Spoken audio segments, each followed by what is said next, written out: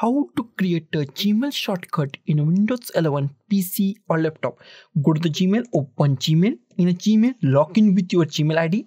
After that, here we find Gmail. Click on click at here, or go to the here Google Apps. Click on Google Apps and click on Gmail. Both are same.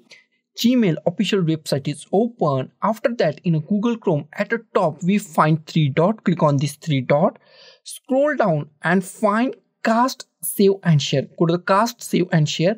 Here you find install page as app or create a shortcut. Both are same. If you not find these two options then go to the, these all tabs and find this. In my case i find cast save and share. Here you find install page as app or install gmail or install page as app or create a shortcut. Both are same.